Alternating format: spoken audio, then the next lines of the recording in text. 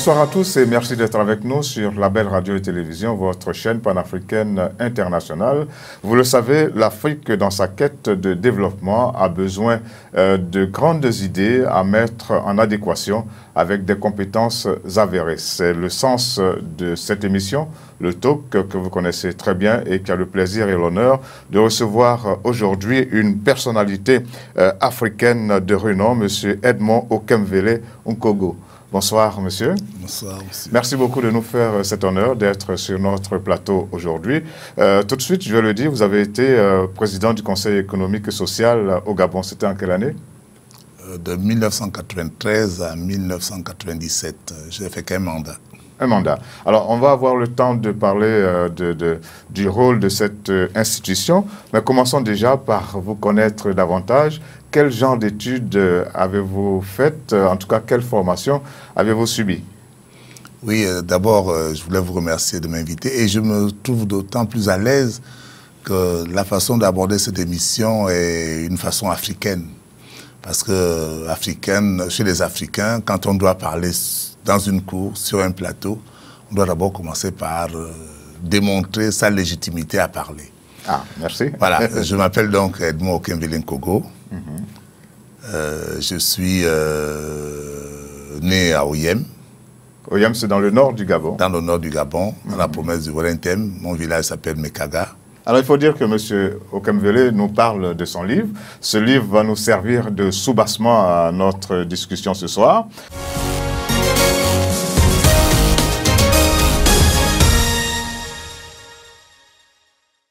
Déficit démocratique et mal développement en francophonie quand nos dirigeants ne peuvent plus. Tel est le titre de l'ouvrage présenté à un public librevillois composé en majorité de dinosaures et de ténors de la politique gabonaise, toutes chapelles et toutes générations confondues. L'auteur, Edmond Okemvele Nkongo, ingénieur électrotechnicien et ancien président du Conseil économique et social du Gabon, traduit en un essai politique le résultat d'une longue et profonde réflexion sur l'échec politique et économique de la France et des pays africains francophones. La cause de cet échec commun est tout aussi commune. L'adoption et la pratique d'un système constitutionnel présidentialiste concentrant tous les pouvoirs et même tous les contre-pouvoirs en un seul et unique tout-puissant président de la République. Excessif, explique l'auteur, qui propose comme alternative l'adoption d'un régime parlementaire de loin plus démocratique, plus porteur des aspirations du peuple et plus enclin à faire évoluer les citoyens vers un meilleur et durable développement humain. Arrêtons les combats d'hommes. Edmond Okemvele Nkogo a saisi l'opportunité que lui offrait la présentation de son livre pour dire à la classe politique qu'elle s'entre-déchire en vain et qu'elle ferait mieux d'engager son énergie et ses actions dans la direction d'un changement constitutionnel qui ferait abandonner le régime présidentialiste au profit d'un système parlementaire plus démocratique. Le politologue Dr Andrea Dio a salué le contenu de cette œuvre et l'a qualifié d'inédit. Je crois que euh, c'est quand même assez inédit que une personnalité gabonaise ayant une certaine expérience, ayant exercé à un niveau quand même assez élevé euh, de l'État, euh, se dise qu'il doit consigner euh, un témoignage et surtout faire le point par rapport à l'état de notre société en proposant un schéma qui peut se discuter, pose un schéma de fonctionnement général de la société avec sa proposition du parlementarisme et du fédéralisme. C'est une idée comme ça qui est jetée sur la place publique et qui en réalité euh, appelle à un débat. Et si ce, cet ouvrage voulait susciter un débat, je crois que c'est réussi.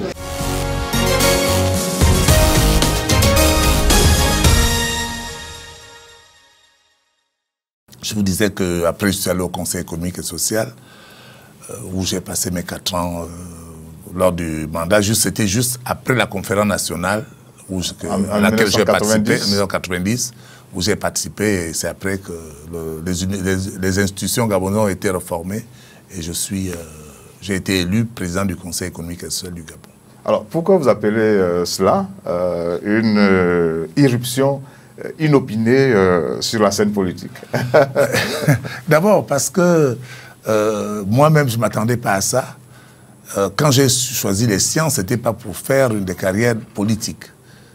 c'était parce que dans les années 60, un peu avant, je me souviens du premier président du Gabon, qui s'appelait Léon Ba, qui disait qu'on ne pouvait pas, il ne souhaitait pas qu'on ait une indépendance un peu tôt, parce que nous n'avions pas encore assez de cadres, surtout des cadres scientifiques et techniques. Même pour conduire un camion à l'époque ou une voiture, le Gabon avait du mal à trouver des gens pour le faire. Euh, pour euh, opérer des gens dans les hôpitaux, euh, dans l'administration même.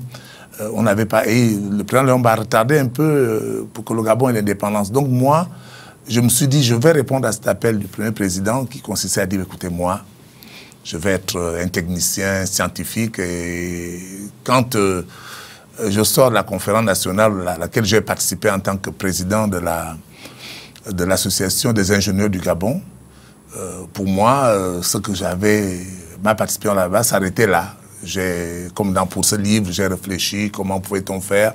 J'avais constaté que notre problème, le problème du pays, c'était parce que euh, on faisait trop de politique politicienne. Et surtout avec le défunt président Bongo. Et moi, je pensais que tout ce qu'on avait comme problème venait de là. Et c'est comme ça que, à la conférence nationale, j'ai tout fait pour que les opérateurs économiques et sociaux du Gabon participent à la vie économique, politique du pays. Parce que euh, tout, tout dans une démocratie se passe en fonction des lois. Donc il fallait que les opérateurs économiques qui produisent la richesse de ce pays, qui produisent l'argent des impôts, participent à l'élaboration des lois pour que euh, la politique qui est là que pour la dépense directe euh, ne prenne pas des, décisions euh, qui peuvent mettre à plat tout, tout, ce qui peut être fait. Vous voyez, si on prend une décision pour dire, par exemple, aujourd'hui au Gabon, on va augmenter assez le SMIG de, de 150 000, comme l'a fait le président Ali, pour le passer à 300 000, on peut mettre un pays par terre. Et le, donc les, les opérateurs économiques qui s'ils étaient dans des institutions, auraient pu freiner ce genre de décision. Hein, parce que pour la politique, parce que je veux être élu président de la République, je, je prends des décisions euh, qui ne sont pas du tout rentables et je peux mettre un pays par terre. Alors on va tout sauter et puis arriver à votre euh, ouvrage, euh, Déficit démocratique et mal développement en francophonie. Alors il faut dire que c'est un ouvrage qui pose un problème euh, de droit constitutionnel. c'est pour ça qu'au début, j'ai insisté sur la série de votre bac et tout, et puis votre cheminement. Et donc, voici que vous vous attaquez à un problème de droit constitutionnel. Qu'est-ce que vous venez y faire? bon, puisqu'on va rentrer dans le, dans le dur, il faudrait dire, euh, si vous permettez, je voulais euh, attirer un peu l'attention des auditeurs qui vont m'écouter aujourd'hui, euh, surtout des auditeurs gabonais. Gabonais, ce livre est un livre politique. qui dit politique dans nos pays dit partisan. Euh, je voulais attirer l'attention des téléspectateurs et des auditeurs qui nous écoutent pour dire que ce livre est une recherche. Ce livre est une recherche. Euh, il ne s'agit pas de prendre parti pour tel ou tel.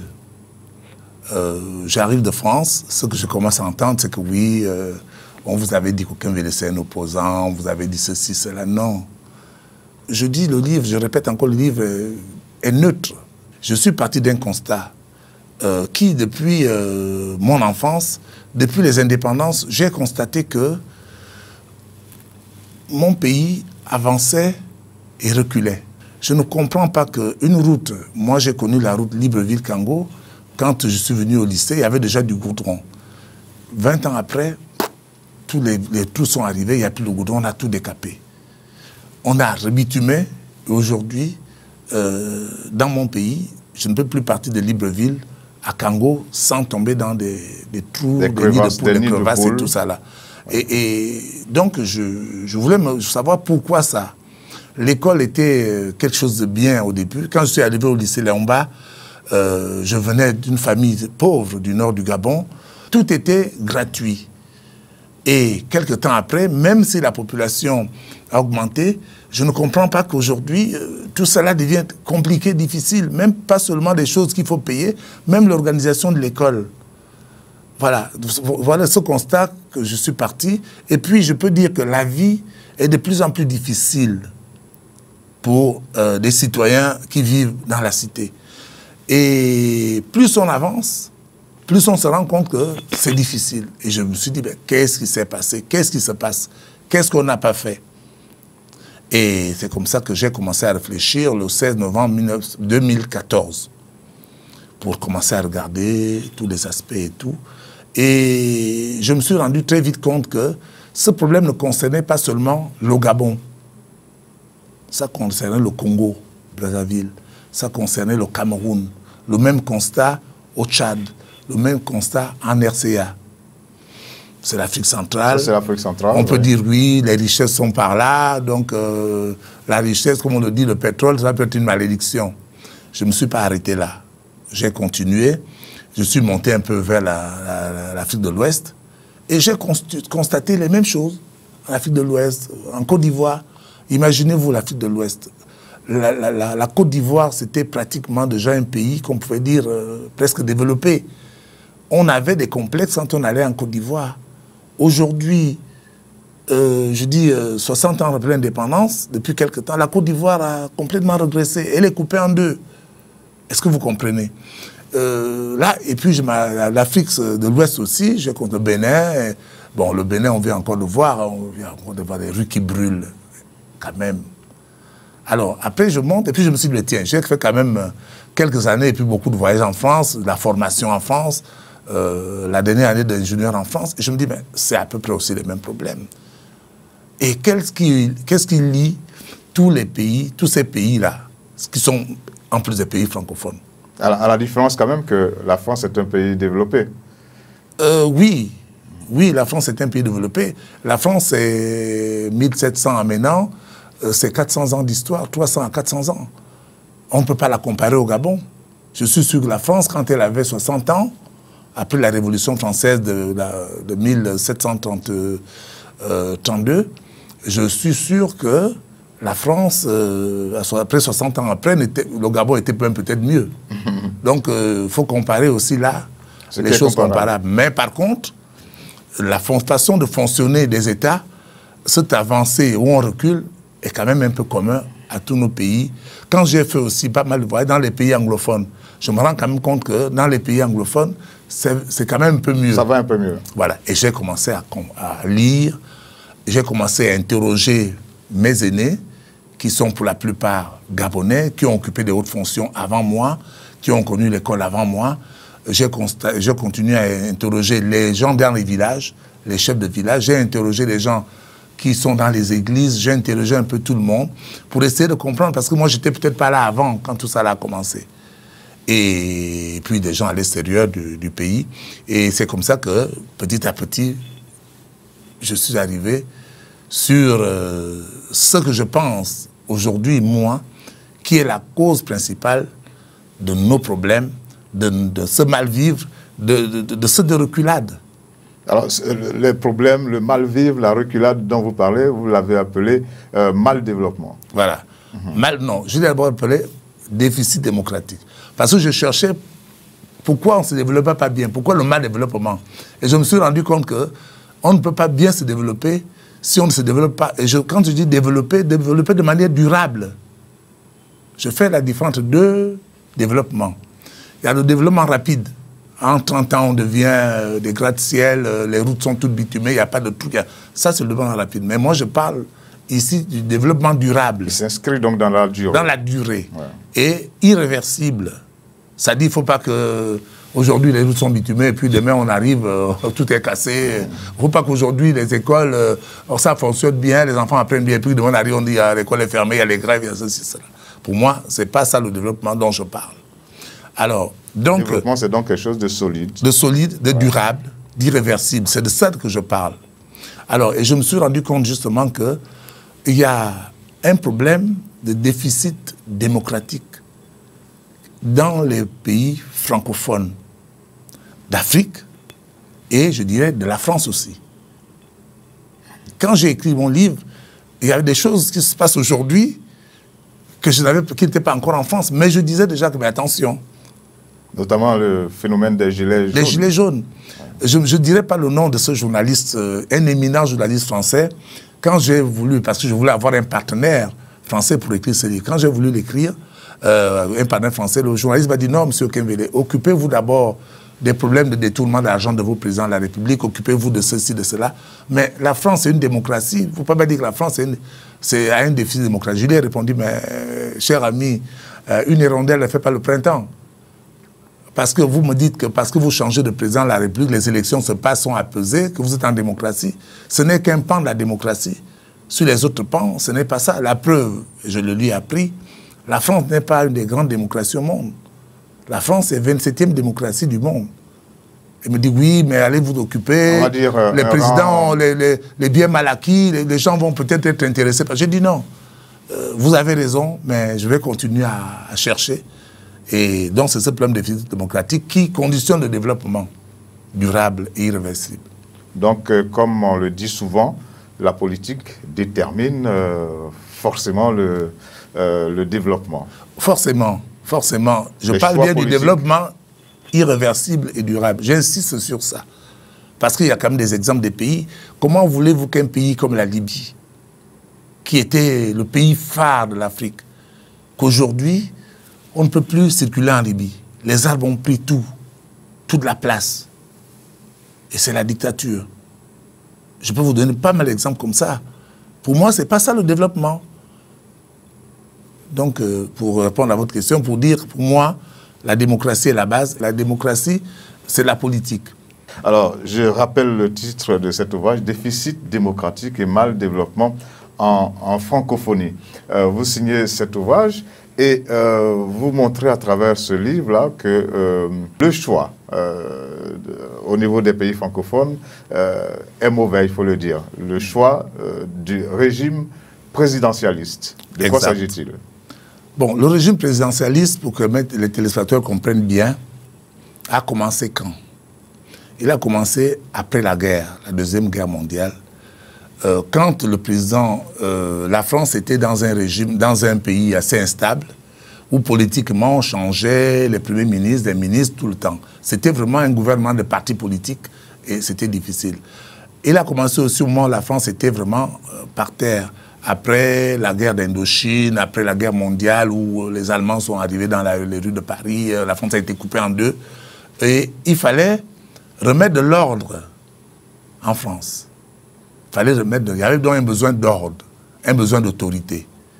Alors là, le général de Gaulle a voulu le faire en 1945-46 en disant, écoutez, moi, je suis militaire, et puis vous savez ce que j'ai fait pendant la guerre, je vais vous mettre de l'ordre en France, parce que sans ordre, vous ne ferez rien. Il a voulu essayer, les partis politiques euh, l'ont mis en minorité, il a démissionné.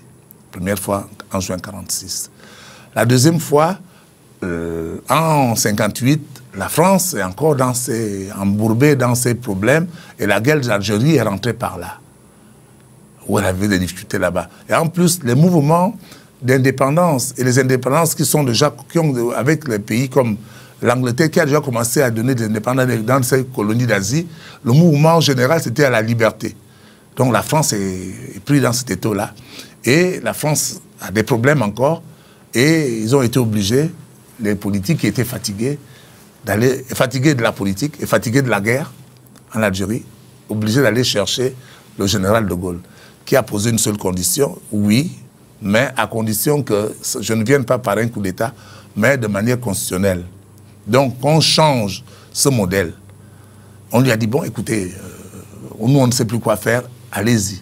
Donc, le général de Gaulle a fait une constitution taillée sur mesure, constitution d'un militaire un homme fort. L'homme, l'homme fort. Et il n'a pas fait autre chose. C'était tellement pressé, il voulait faire ça vite. Euh, je crois que c'est là où les choses ont commencé en 58, parce que euh, il a mis un peu la charrue avant les bœufs. Je veux m'expliquer tout à l'heure. En somme, euh, il a renversé les normes, la norme démocratique. C'est-à-dire, maintenant, il a fait marcher la France sur la tête. Et quand vous marchez comme ça, vous ne pouvez pas marcher longtemps. Et c'est ce qui s'est passé en 58. Et alors, je reviens donc sur, la, sur euh, ce, que ce que, le problème que pose la Constitution francophone, la Constitution de la Ve République, la Constitution, la Constitution présidentialiste. Parce que, avant de l'expliquer, je veux quand même dire aux téléspectateurs qu'il y a plusieurs modèles de constitution. Il y a la constitution présidentielle, le, régime présidentiel qui est le régime américain, où les pouvoirs sont partagés et séparés. On avec des contre-pouvoirs, bien sûr. Avec des contre-pouvoirs, bien sûr. Et Notamment au niveau du Congrès. Le Congrès et les autres, le, pouvoir judiciaire. Euh, vous ne mettez pas euh, le, Congrès ne peut pas mettre, aller intervenir dans le judiciaire, le président ne peut pas intervenir, ainsi de suite. Les pouvoirs sont séparés, on appelle ça euh, un régime à séparation de pouvoir rigide. Après, vous avez la constitution, disons le régime parlementaire, qui lui a aussi déjà les pouvoirs qui sont partagés et séparés avec les contre-pouvoirs. Hein, donc ça, c'est le régime parlementaire. Mais avec une force beaucoup plus nette au niveau des, des, euh, députés. On appelle ça le régime parlementaire parce que c'est le régime, euh, à mon avis... Ce sont les, ce sont les À mon avis, c'est le régime le plus démocratique. Le plus démocratique. Pourquoi? Parce que tout le monde le sait, c'est quoi la démocratie? Il y a quelqu'un qui a donné une définition aux États-Unis qui disait la démocratie, c'est le pouvoir du peuple, par le peuple et pour le peuple. Alors, dans les institutions démocratiques, où est représenté le peuple? C'est au Parlement. Donc, c'est le Parlement qui doit être le premier pouvoir et qui, qui est le premier pouvoir d'une démocratie. Parce que ce sont les représentants du peuple. Il y a aussi le président de la République qui est le représentant du peuple, élu au, suffrage non, La France souffre de ça. Quand vous regardez le cabinet économique groupe, Economist Group qui est aux États-Unis, qui classe les démocraties depuis 2005, la France, j'ai dit tout à l'heure, est classée 27e.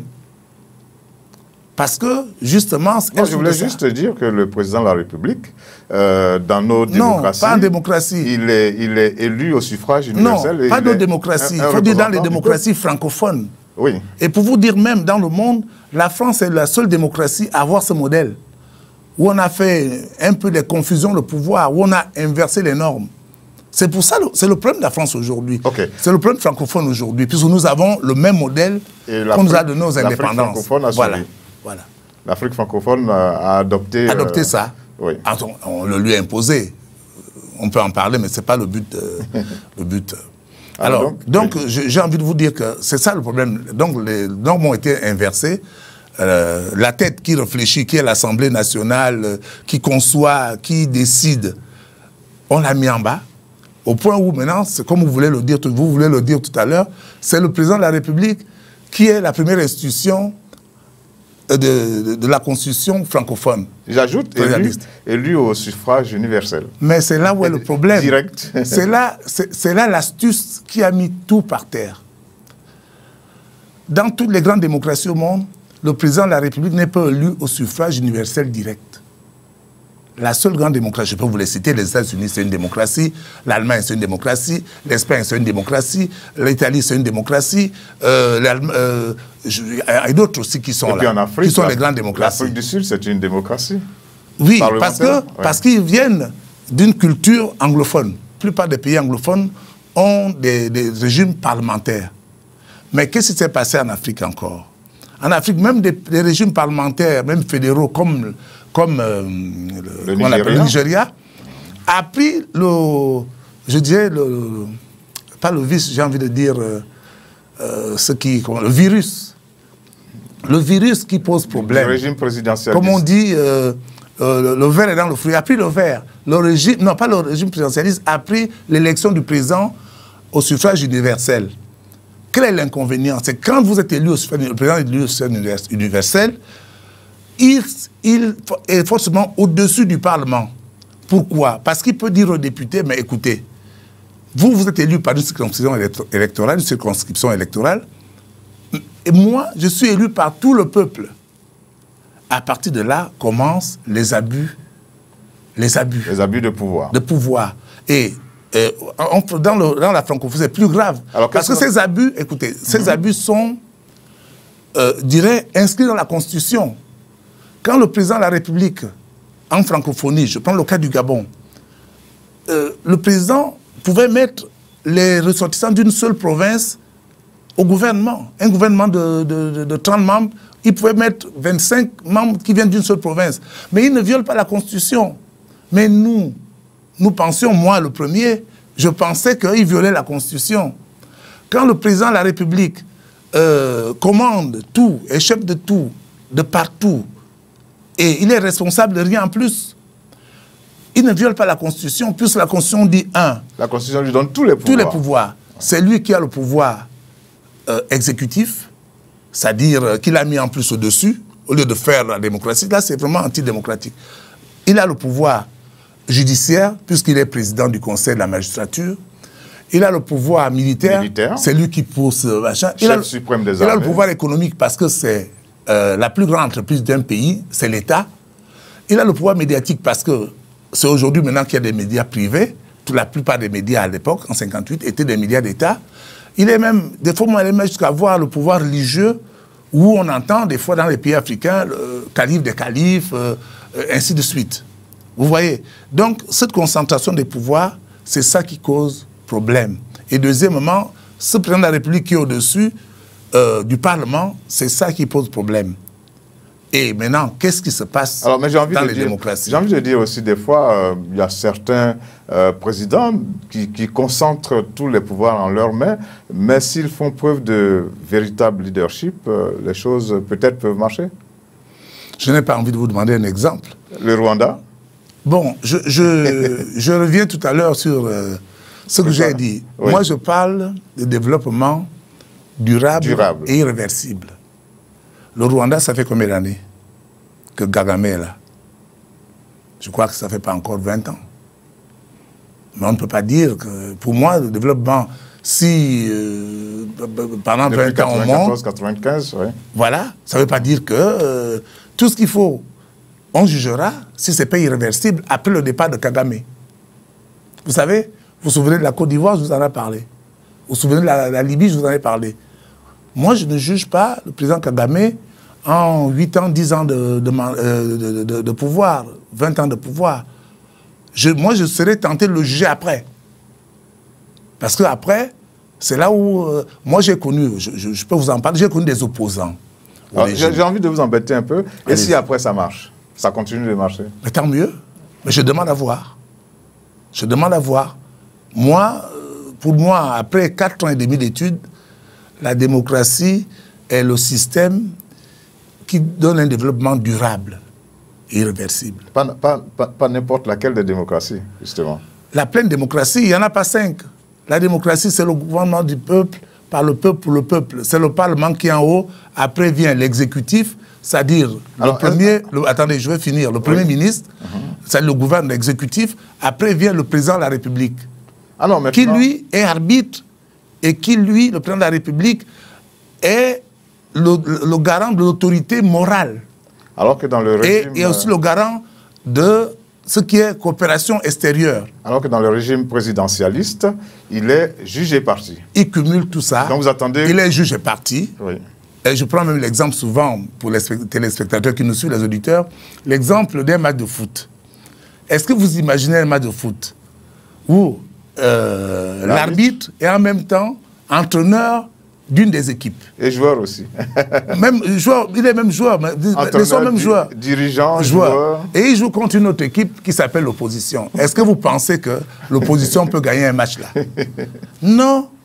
C'est ça qu'il faut éviter. Il faut, il faut vraiment revenir. Quand je parle de la réforme de la Constitution, c'est revenir au régime parlementaire qu'on avait avant dans ce pays. Je me souviens qu'au Gabon, quand on est passé de ce régime du régime parlementaire de la 4e République à la 5e, la, majorité des parlementaires qui étaient à la Constitution, donc Obama, Ngonjou, qui d'ailleurs siégeait à l'Assemblée française, euh, au Parlement français, avait dit, et surtout même les sages qui avaient participé à ça, les notables, avaient dit que ce régime va amener la dictature au Gabon. Et trois ans, juste après quatre ans, on a eu un coup d'État au Gabon. Parce que cette transition s'est mal passée. Les gens ne comprenaient pas que maintenant le président, maintenant c'est lui qui imposait tout, et ainsi de suite. ainsi de suite. Voilà. Et ces coups d'État sont arrivés. euh, dans mon livre, en annexe, les gens vont lire tous les coups d'État qui se sont passés dans les pays francophones. Et il y en a eu beaucoup. Il y en a eu trop. Il y en a eu beaucoup. Tous les pays ont eu presque un coup d'État. Chacun a eu sa dose de coups d'État. Chacun. Tous les pays francophones, la plupart, je crois que sauf le Sénégal jusque-là, Ouais. À cause du déficit démocratique. démocratique. à cause du fait que les dirigeants, euh, il y a un grand déphasage entre la volonté du peuple. Comme aujourd'hui, tous les pays veulent la démocratie. Tous les pays veulent des constitutions démocratiques. Qu'est-ce que les dirigeants leur servent? Va leur servir des constitutions qui vont dans l'autorité et la dictature. Vous, êtes africain comme moi. prenez, prenez le cas de toutes les crises électorales qui se passent en Afrique. Mhm. Prenez le cas de toutes les crises constitutionnelles. Ne touchez pas à ma constitution, ainsi de suite. C'est ça le déficit démocratique.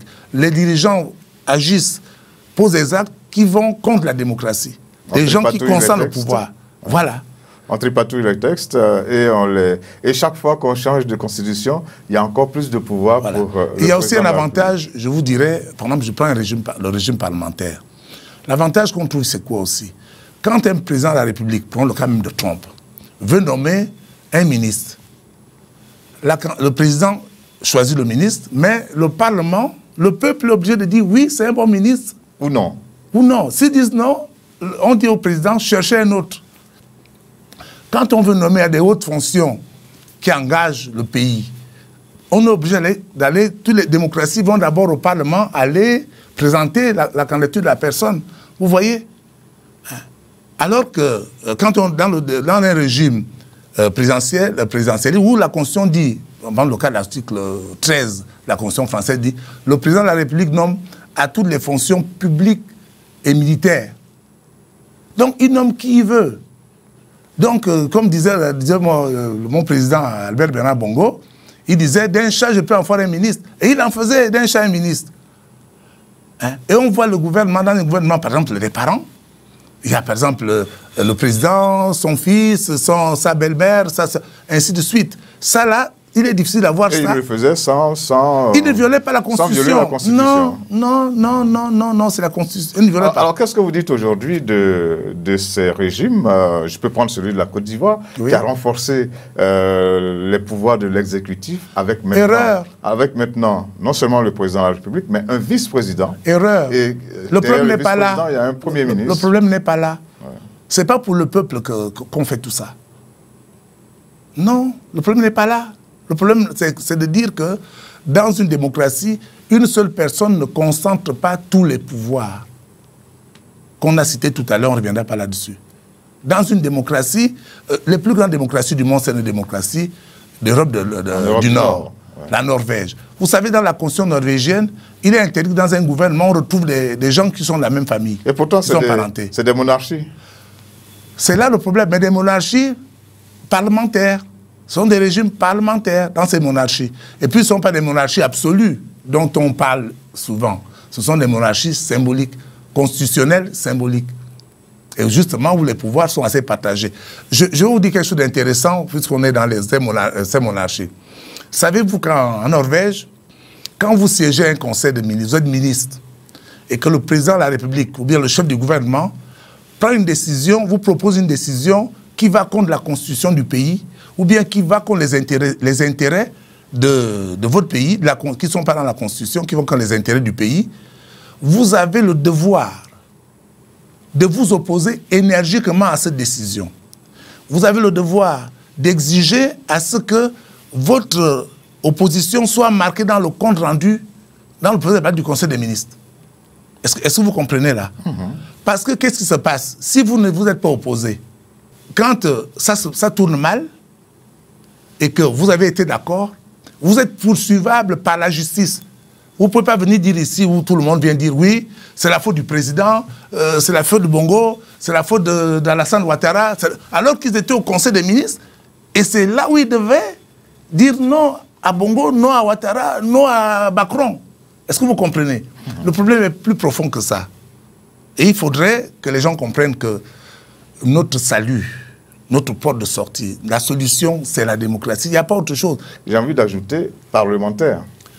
Pour moi, la meilleure, qui donne les meilleurs fruits aujourd'hui, c'est la parlementaire. Et j'ajoute qu'il faut l'associer au fédéralisme. On y reviendra tout à l'heure. Parce qu'un régime, euh, un régime euh, présidentialiste, euh, comme vous dites, il est issu également de la, de la démocratie. Non, c'est une demi-démocratie. C'est comme ça que j'appelle ça dans mon... Dans mon c'est une demi-démocratie. Je vous dis, les, démocraties, dans mon livre, en annexe 1, Alors la vraie démocratie La vraie démocratie, c'est-à-dire celle où le. Parlement est au-dessus, où le peuple est au-dessus, et où le dirigeant qui est là est obligé de répondre aux attentes du peuple. Alors pourquoi vous ne parlez pas beaucoup de l'Afrique du Sud? L'Afrique du Sud, parce que ça fait partie des petits mélanges. Ou par exemple de l'Éthiopie actuellement Euh, je, parle, je peux parler d'Éthiopie, mais, ça- mais je peux vous dire que euh, nous avons un problème, c'est que on veut toujours faire des petits mélanges. On veut toujours faire, en Afrique du Sud, effectivement, le président de la République est élu de manière indirecte, mais vous voyez aussi que ça Vous marche quand comment, même mieux. comment Jacob Zuma est parti? Mais parce qu'ils sont déjà en régime parlementaire. Comment, euh, Ils sont déjà en régime parlementaire. comment Thabo Mbeki est parti? Mais oui, parce qu'ils sont déjà en régime parlementaire, ils ne sont pas un régime présidentialiste. C'est bien, mais on peut encore faire mieux. Ok. On peut encore faire mieux parce que la démocratie, euh, j'ai envie de dire aux téléspectateurs qui nous écoutent qu'il y a des niveaux et des niveaux. Par exemple, vous voyez dans les grandes démocraties, ce qu'on appelle les grandes démocraties dans les livres, hein, la France, on la met là-dedans, mais la France occupe la queue du peloton. Dans les, les pays africains, les pays francophones occupent la queue du peloton des démocraties. Est-ce que vous voyez? Donc, euh, il y a des niveaux, des niveaux. C'est comme les séismes, euh, euh, 1, échelle 1, échelle 2, échelle 3. Alors si on a envie de se développer, eh bien qu'on abandonne le régime euh, présidentialiste, la cinquième république, parce que, comme je dis, il n'y a pas que le Gabon, il n'y a pas que la Côte d'Ivoire, il n'y a pas que la Guinée. Le régime présidentialiste, c'est d'abord la France qui nous l'a inoculé. Et comment voulez-vous? On venait de voir derrière moi les gilets jaunes, Par- parlons-en, vous en avez parlé. Quand les gens ont marché dans la rue à Paris et dans les provinces, on a envoyé quoi? Les gaz lacrymogènes, on a envoyé les camions de l'armée, euh, même pas l'armée, la, gendarmerie, on a envoyé la force. Est-ce que vous avez vu ça? Alors, comment voulez-vous qu'ici, si le président Ali, par exemple, met les, les- les gaz lacrymogènes dans la rue, les Gabonais disent à la France, mais écoutez, dites au président de ne pas sortir, c'est antidémocratique, ce n'est pas les droits de l'homme. Mais lui-même déjà, en France, sort déjà cet arsenal.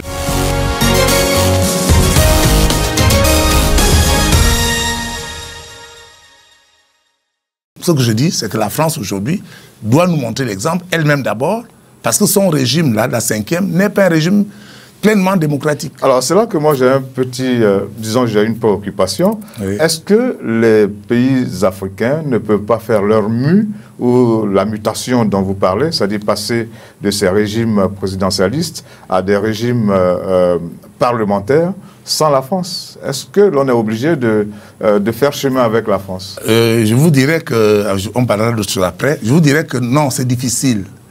Au départ, au départ, oui, oui. Au départ, justement, on Ah Il y a me quand disait, même la souveraineté. on me disait, mais monsieur Okembele, La souveraineté, c'est quelque chose monsieur. Okembele, vous voulez vous occuper des problèmes de la France. Mais occupez-vous de chez vous. Pourquoi le Gabon, euh, il y a eu une conférence nationale. Si les Gabonais avaient voulu un régime parlementaire, on l'aurait fait. Non, c'est naïf de parler comme ça. La France a une très grande influence sur nos pays. Quand je dis la France, je dirais même pas la France, c'est pas les peuples français, mais l'Élysée.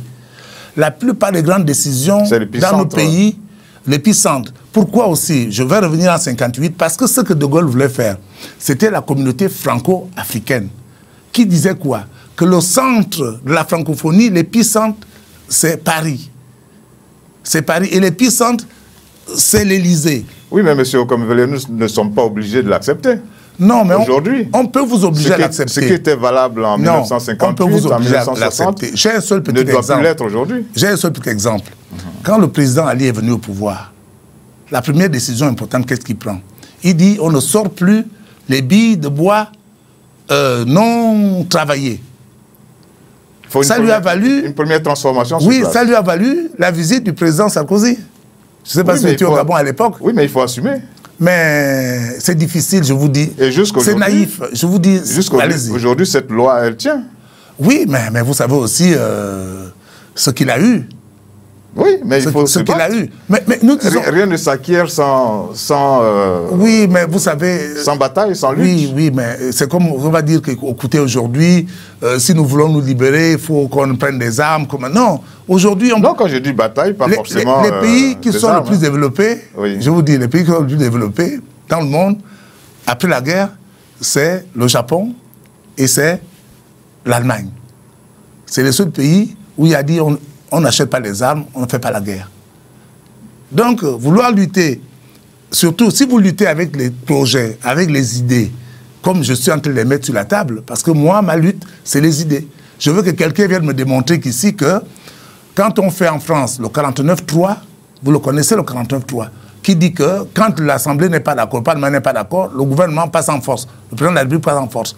C'est pas démocratique. D'accord, moi je suis d'accord avec vous. Hein. On peut être d'accord dans votre démarche, mhm. mais là où euh, on le bas blesse, allez-y, oui, on peut. C'est quand euh, vous liez. Euh, je vais vous lier, je vais vous lier. Quand, vous liez. Pas des exemples, pas des faits. Pays africains, pas des de façon je veux pas que, indéfinie. Je veux pas que, je veux pas que les citoyens francophones africains soient naïfs. Je vais vous donner, je vais vous citer quelques cas. Quelques cas. On va aller rapidement. rapidement. Mhm.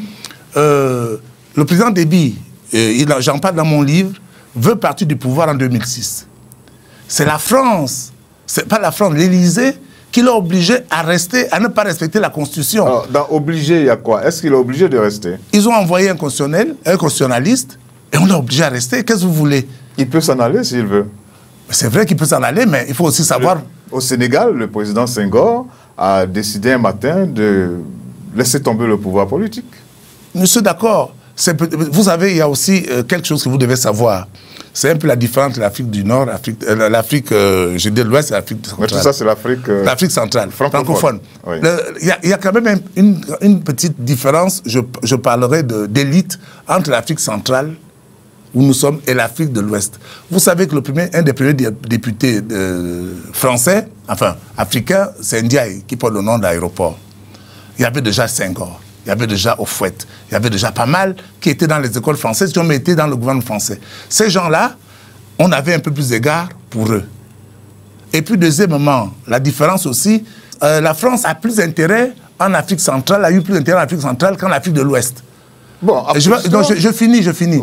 La France de Gaulle, en 1958, quand il prend le pouvoir, veut avoir, veut donner à la France la bombe atomique pour que la France soit dans le Conseil de sécurité. Et il doit s'appuyer sur... Donc, qu'est-ce qu'il fallait? Il fallait avoir la bombe atomique. Donc, où était la mine euh, d'uranium? C'était au Gabon. Au Gabon. Donc, la France ne pouvait pas accepter que les Gabonais disent que ça, la France ne veut pas, ainsi de suite. Puisque cette mine, même si c'est les, Français qui viennent l'exploiter, la France avait tout son intérêt là-dedans. Je continue. Le pétrole est arrivé. Je mhm. continue. Euh, il faut bien l'énergie pour reconstruire la France et tout on prend le pétrole au Gabon, mais la France ne peut pas accepter, je dirais, elle peut l'accepter officiellement, officieusement, que le Gabon fasse ce qu'elle veut de son pétrole, ou bien s'oppose à ces directives. Ça, c'est la réelle politique. Ça, ce sont les faits. Je vous ai parlé de débit. Euh, dernièrement, euh, il y a une colonne qui vient menacer euh, qui vient de, la Libye. Qu'est-ce qu'on a fait? Les, avions ont décollé de l'avion français décoller pour aller frapper la colonne. Dans un pays parlementaire, ça ne se fait pas.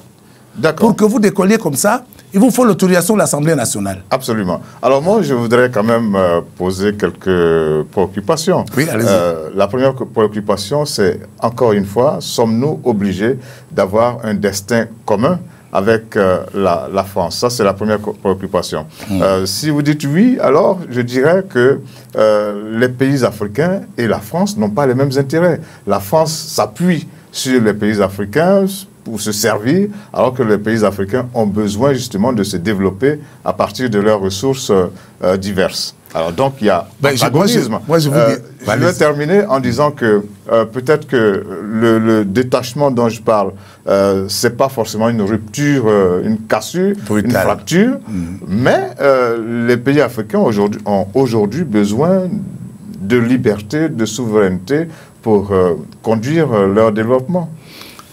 vous avez raison, mais je vous dis toujours, ne soyons pas naïfs. Vous savez, je viens vous voir chez vous, et puis je vous dis, écoutez, euh, euh, votre montre m'intéresse. Vous avez une montre. Puis me dit, non, monsieur Kembele, ma montre, c'est un cadeau qu'on m'a fait, vous ne pouvez pas la prendre, euh, ainsi de suite. Or, moi, cette montre, c'est une question importante pour moi. Vous me dites, vous refusez. Qu'est-ce que je fais? Vous me l'arrachez? Non. Oui, je vous l'arrache. Peut-être je repars. Mais il ne serait pas content, de toute façon. Mais oui, mais n'empêche que si j'ai les moyens de vous l'arracher, je vous l'arracherai. Et si j'ai la possibilité de la récupérer, je la récupère. Vous la récupérez, mais il faut, avoir, les, il faut avoir des moyens super. Quand la force combat la force, la plus grande détruit la moyenne. Je, non, je vais, je vais répondre à votre question. Je ne vais pas fuir cette question. Je crois que euh, nous avons aussi un, un handicap en francophonie, c'est que la francophonie depuis la France, nous sommes toujours dans l'action. C'est-à-dire, il y a un problème qui se pose à nous, on agit. Euh, un problème se pose, il faut agir, il faut la force, il faut l'autorité. Mais c'est une erreur. Les autres pays, les pays d'Asie, même les autres pays dans les, dans les démocraties, en Angleterre, machin, réfléchissent plus que nous. Et ce que je conseille, ce que je conseille à mes, compa à mes compatriotes... une autre façon de réfléchir, peut-être Non, il faut réfléchir plus avant d'agir. Il faut réfléchir plus avant d'agir et se donner les moyens de ce que nous voulons faire. Vous parlez de, de, de cette histoire, de la rupture de nos relations. Moi, je suis le premier à dire, allons-y, nous allons couper le cordon ombilical. Pour avoir des, des relations que, franches. Voilà. Est-ce que nous avons, est-ce que le, le Gabon a les moyens d'imposer à la France l'équilibre? S'il s'associe euh, au Cameroun, au Tchad, à la Côte d'Ivoire, au Sénégal, au Bénin, au Togo, etc. Alors associons-nous, et je dis oui, faisons la rupture. C'est pour ça que... C'est cette rupture que je dis, on ne, si on fait la rupture, que chacun, que Macky Sall va à l'Élysée, il coupe avec la France, euh, le Cameroun va, il coupe. Vous avez déjà vu ce qui s'est passé. Comment que, ces gens-là sont plus forts que nous pour, ça que pour passer dans la nuit? C'est pour ça que l'on prône l'intégration. Voilà. Et c'est pour ça que je vous parlais tout à l'heure du fédéralisme. L'Afrique ne fera quelque chose. Allez, je vous prends encore un petit cas, puisque vous parlez de rupture. Vous avez vu comment le président Macron a traité le président burkinabé? Au Burkina Faso, quand il est passé au Burkina, après il est parti en, au, en Côte d'Ivoire avec Mais il revenait au président burkinabé de réagir. Mais réagir en faisant quoi? En allant gifler le président Macron? Non, mais il réagit euh, comment? avec des propos. Ah, comment? Avec ses arguments. Mais vous savez bien que s'il n'a pas réagi, c'est qu'il n'avait pas intérêt à réagir. Il n'avait pas intérêt, parce que, euh, je vous dis, la francophonie, c'est comme un iceberg. Je le dis dans mon livre. La face, cache, la face cachée est plus grande, dix fois plus grande que ce que nous voyons. Et donc, si vous ne faites pas attention, vous pouvez prendre une décision à chaud et qui va vous coûter plus cher qu'avant. Vous avez vu le cas de, de, de, de Sékou Touré. Il a dit non à la communauté, on lui a envoyé la fausse monnaie. On a envoyé, on l'a déstabilisé à partir de, de Dakar. Qui l'a fait? C'est la Il France. a quand même dit qu'il préfère vivre dans la dignité. Oui, mais la dignité, on ne mange pas la dignité seulement. non, je ne dis pas qu'il n'y en a pas, mais on ne mange pas. L'objectif, quand vous prenez le pouvoir, c'est rendre votre peuple heureux. Et il a dit rester pauvre dans la dignité plutôt que être riche oui, dans, oui, oui. dans la pas- dépendance. Non, soyons, soyons réalistes. Et c'est ce que je prône dans mon livre. Il faut qu'on soit réaliste. Bien. Mais je dis, si vous nous voulons couper, nous voulons d'abord faire l'intégration. Pour que nous ayons un poids qui peut faire à ce que, de force, que nous utilisons nos moyens, que nous- un poids qui peut faire à ce que nous parlons en disant à la fin, écoutez, nous avons ça, nous avons ça, vous avez ça. Votre intérêt, nous avons passé 400 ans ensemble, c'est que vous sommes quand même un marché de tant de millions d'habitants. Vous n'avez pas intérêt à ce qu'on coupe. La Chine va venir prendre votre place. Il y a des arguments, je crois. Prenons le cas du CFA, du franc CFA. Imaginez-vous qu'aujourd'hui, sans avoir on a envie de créer une monnaie au niveau de l'Afrique de l'Ouest. Sans avoir créé une monnaie, l'Afrique de l'Ouest va peser quoi par rapport à la France? Rien du tout. Il faudrait peut-être faire une monnaie qui prend, euh, euh, je dirais même, je ne vais même pas parler de l'Afrique centrale, je dis une monnaie africaine. Là, elle va peser. C'est en train de venir, certainement. Euh, vous avez sûrement des informations que je n'ai pas. On a la ZLEC, la zone de libre-échange continentale. Ça peut aboutir à ce genre de... Voilà, là on, là, on va, là, on va parler. OK. Quand Alors, nous euh, aurons fait ça, nous allons parler. Alors, Monsieur Okamvele, euh, le débat est intéressant. Euh, vos, vos idées, les idées que vous proposez sont intéressantes. Maintenant, il faut voir comment les appliquer. C'est là qu'il y a problème parce que euh, au niveau des idées, les intellectuels africains euh, en ont produit, ils en ont produit euh, beaucoup. Maintenant, comment est-ce qu'on met en application ces idées? Je viens vous dire que nos mots viennent de ce système présidentialiste de la Ve République. Changeons-le comme les autres ont, déjà, l'ont déjà fait. Les autres ont son système parlementaire et ça marche mieux. Parce qu'elle permet la compétition. Or, aujourd'hui, il faut la compétition, le fédéralisme dont vous voulez parler tout à l'heure. C'est de ça qu'il faut. Pourquoi le Gabon ne sera pas un État fédéral avec les provinces qui sont fédérées, avec un budget fédéral et chaque personne avec sa part de souveraineté? Et l'Afrique, c'est pareil. Une commission que j'ai proposée à l'Afrique, Et je crois que certains Africains me suivent, notamment, je m'adresse au président Obasanjo, j'ai choisi, par rapport à ce qu'ils font pour l'Afrique, une cinquantaine de, personnes d'une certaine expérience négro-africaine, africaine, américaine, pour qu'elles se retrouvent pour réfléchir sur ces problèmes-là qui sont... la mise en œuvre. Voilà. La restauration de nos valeurs traditionnelles qui ont été détruites. Deuxièmement, l'Union fédérale des États africains.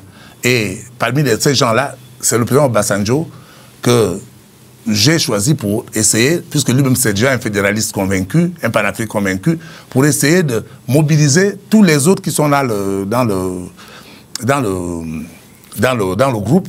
Et je suis tout à fait, oui, si je lui fais un clin d'œil pour 15 jours, il me dit, écoutez, euh, Monsieur Okemvele, venez me voir, on va en parler, venez me convaincre. Je vais lui, comme tous les autres qui sont là-dedans, vous avez vu tout à l'heure la commission d'ailleurs, s'appelle la commission Kofi Annan, et je suis, je suis vraiment ravi de savoir que la salle où vous m'avez reçu ce matin, euh, c'est la salle, c'est la salle Kofi Annan, c'est que vous êtes des panafricanistes, et c'est ça qu'il faut.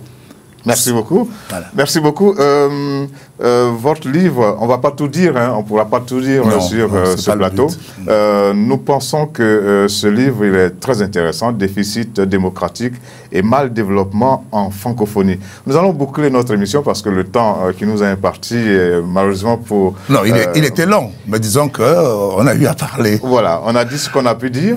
Maintenant, il revient à nos téléspectateurs et à nos auditeurs d'avoir ce cet ouvrage, euh, de le lire et puis euh, certainement qu'il y aura des occasions de débat, de discussion euh, pour pouvoir faire avancer les choses comme vous le souhaitez. je voudrais qu'on termine cette émission, cet entretien par ce que vous pensez du panafricanisme. On l'a plus ou moins dit, mais maintenant, il faut le dire de façon franche, de façon nette. Mais c'est notre seule voie d'issue.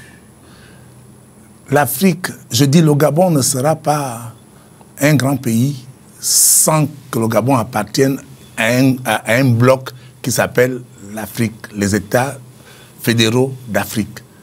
Le c'est dit, pareil pour la Côte d'Ivoire. La Côte d'Ivoire, même le Cameroun, le Nigeria, euh, pas seulement le francophone, le Nigeria, le Kenya et tout. Nous avons aujourd'hui l'un des plus grands potentiels miniers du monde. Nous avons un des plus grands potentiels humains. La population du monde. Nous avons un des plus grands potentiels de jeunes, c'est-à-dire des gens qui sont dans les, les jeunes qui sont dans les, nouvelles technologies du monde. Nous avons tout. Il suffit seulement maintenant que nous réfléchissions et que nous fassions un bloc comme l'a fait la Chine, comme, l'a fait les, comme le font les États-Unis, dans un, dans un État comme le font l'Allemagne. Et c'est ça l'avenir. Il n'y a pas d'issue sans ça. Et je profite de rendre hommage à ces panafricanistes, en commençant par Bouganda, le centrafricain. Après, je vais prendre le plus connu qui est Kwame, Nkrumah. du Ghana. Et le dernier qui vient de nous quitter, c'est Kadhafi. Je, vraiment, je leur rends hommage et je crois que euh, nous commençons à être nombreux. Et j'ai su d'autres. Au Cameroun, j'ai suivi d'autres euh, Africains, d'autres intellectuels qui vont dans ce sens-là. C'est la seule voie. Bien.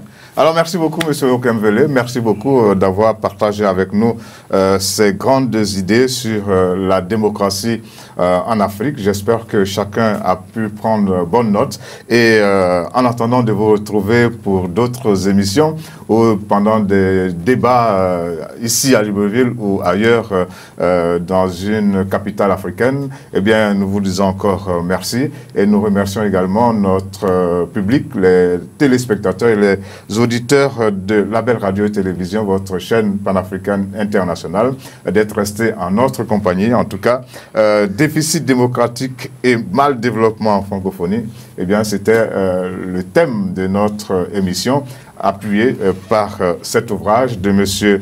Edmond Okemvele Nkongo, qui a été président du Conseil économique et social au Gabon. Merci encore et à bientôt.